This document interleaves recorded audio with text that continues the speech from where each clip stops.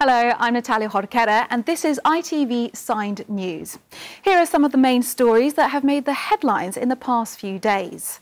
Nicola Sturgeon resigned as the leader of the Scottish National Party. She said her decision to stand down as First Minister of Scotland was not a reaction to short-term pressures. Rescue efforts in parts of Turkey and Syria devastated by earthquakes are being scaled back. More than 40,000 people died in the disaster, with the number still rising.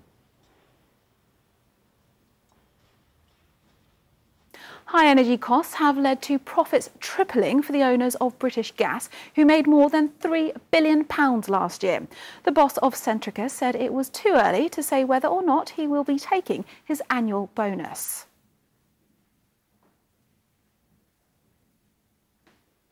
Models, designers and fashion icons attended a memorial service to honour the late Dame Vivienne Westwood. The fashion designer died last year.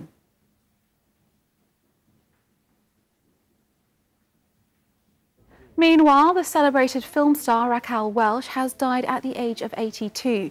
She became famous with two blockbuster films, Fantastic Voyage and One Million Years BC.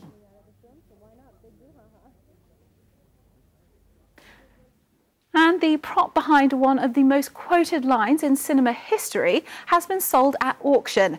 The box of chocolates, as seen in the Tom Hanks movie Forrest Gump, has been bought for $25,000.